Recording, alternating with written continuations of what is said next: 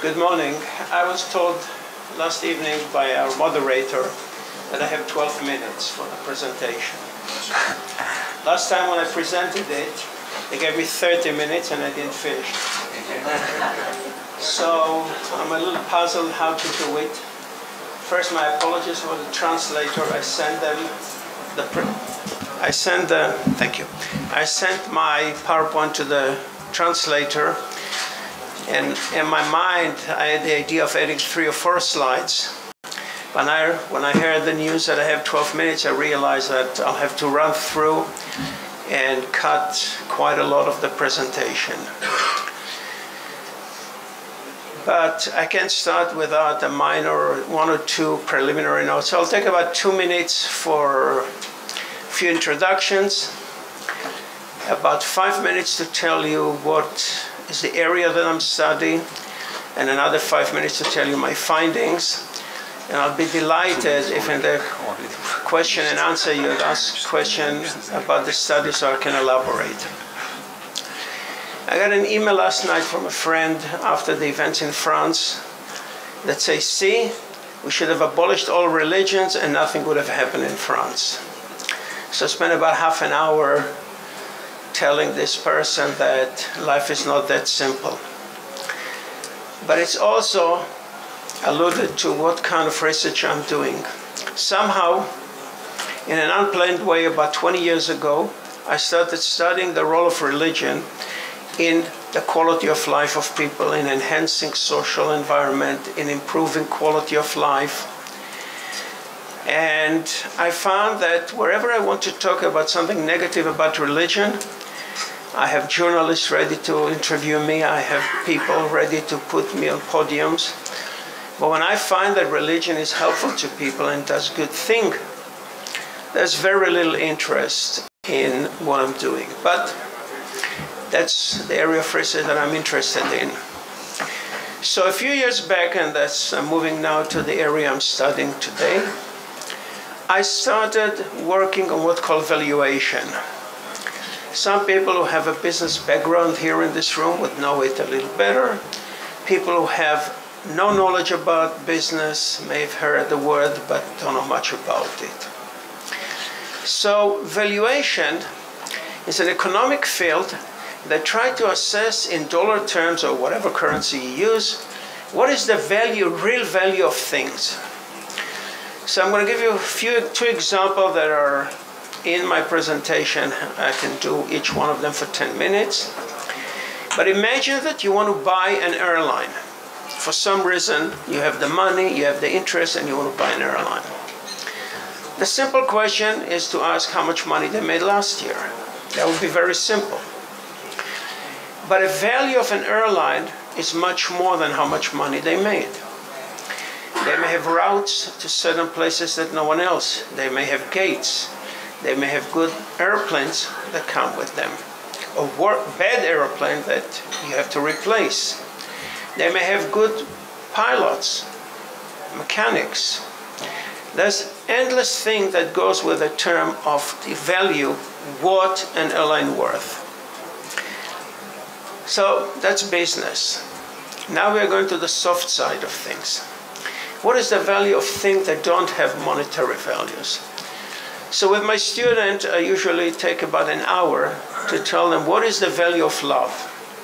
Not what it does here, what it does here with your money.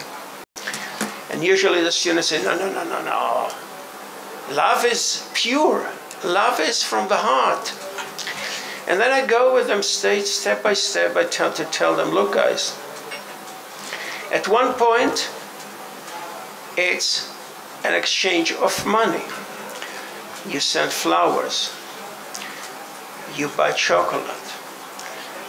You take out for a restaurant.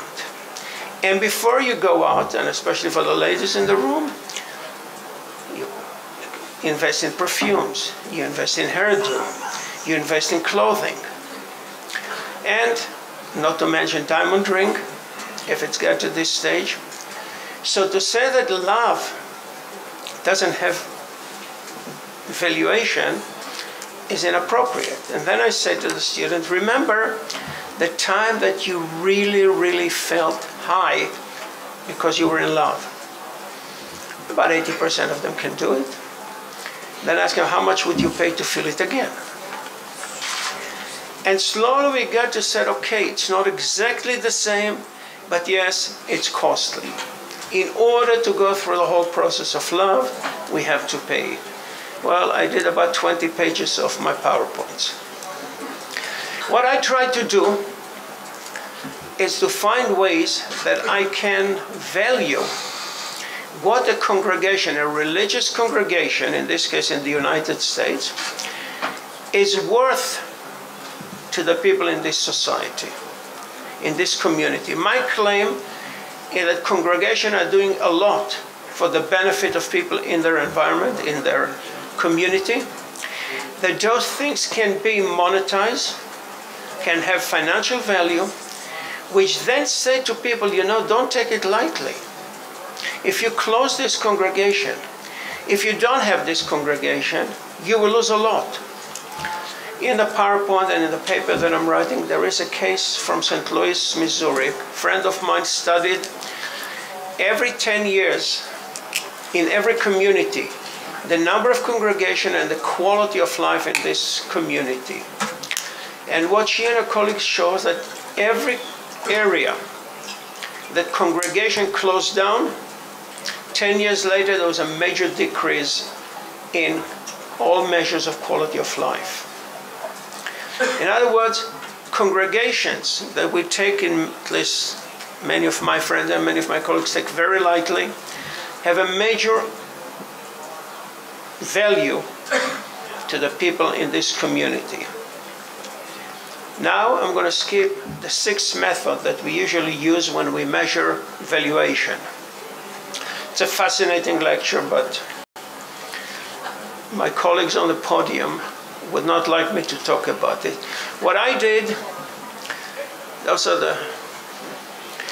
So there's a challenging congregation how to measure it. Again, I hope you'll ask me and challenge me about it.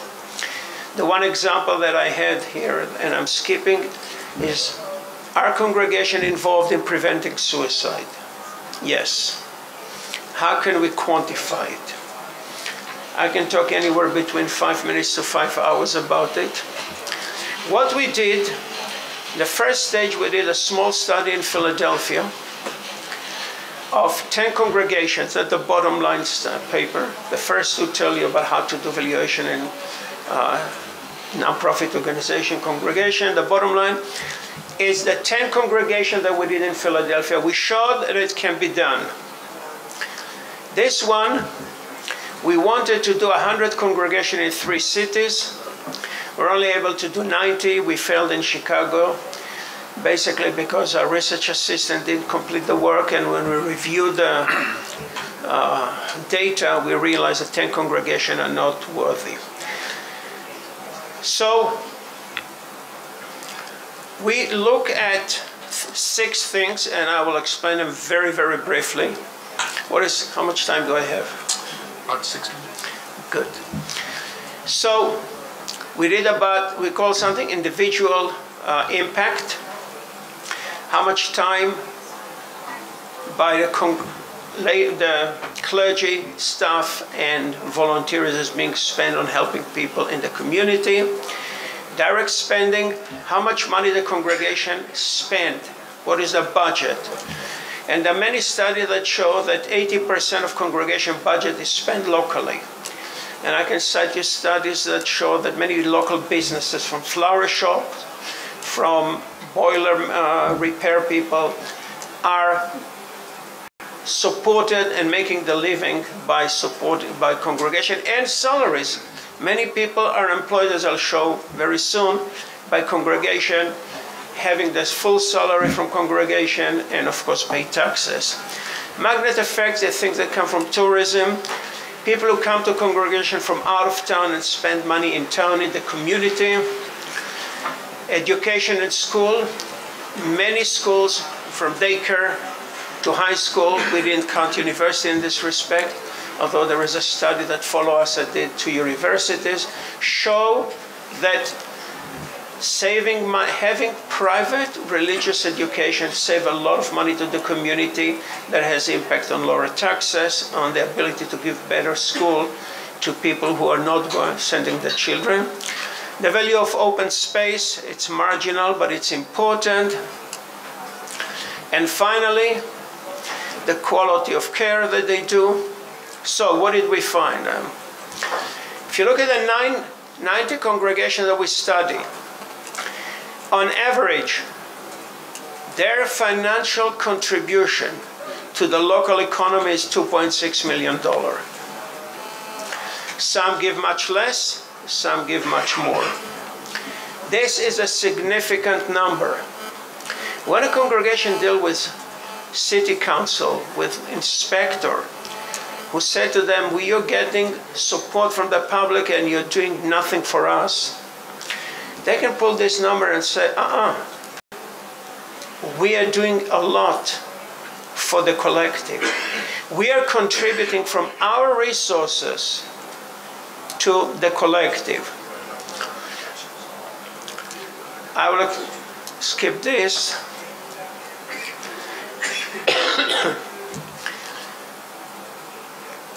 if we took out the 10 rich one, okay, because the 10 rich one is a big congregation with lots of money, we drop them out of the sample, we still get that an average congregation contribute about $2 million. Some people told us, well, the issues like helping immigrants, helping newcomers, preventing suicide, include enhancing values are not things that we want to see in your analysis. What would be your number without it? $1.6 million. Now, that's, I can skip if I may.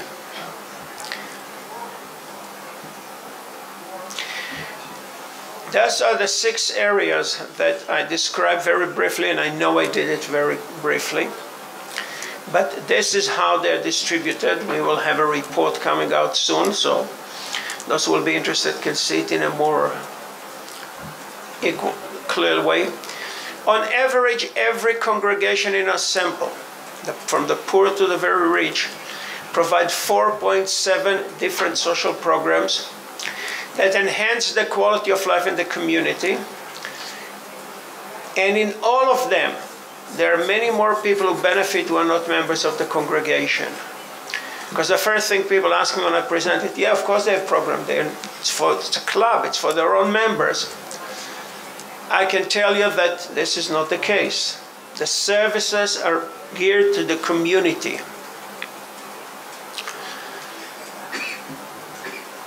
In the 90 congregation, we have over 1,000 paid position.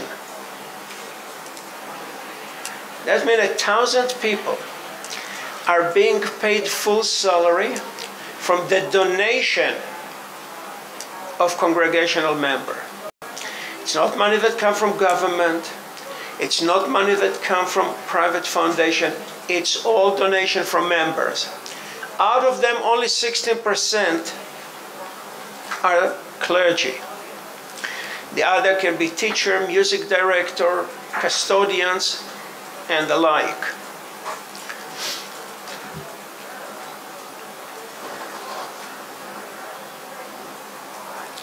The average, which is very misleading, was five per congregation, because the rich congregation have 30, 40, and the poor congregation have at best one.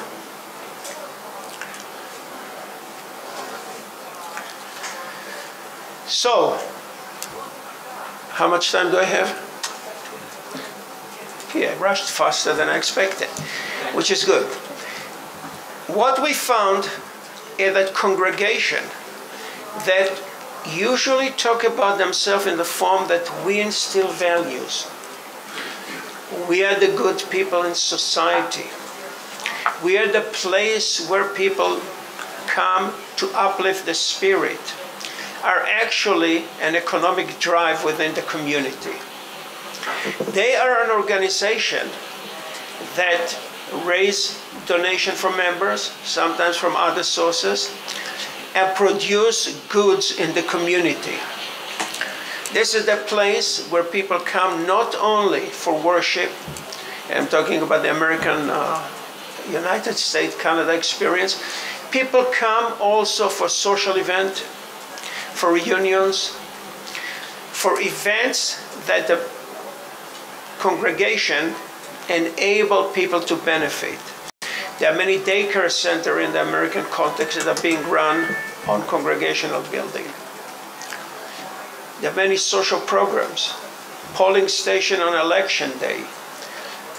All those events are contribution to the quality of life of people in, in this case, Philadelphia, Fort Worth, Texas, and Chicago, but I claim all over the United States. Most importantly, I believe that this study, and I hope many people will challenge me and contribute their own research to show that my numbers were too high or too low, and that I ignored and missed certain issues. But now there is a language that clergy can come and say to mayors, to people who oppose them, look, this is the magnitude of our contribution. Don't look at us that we only have one or two clergy don't look at us that we only meet two or three times a week. We are an engine that is important for the economy and the quality of life of the community. Thank you.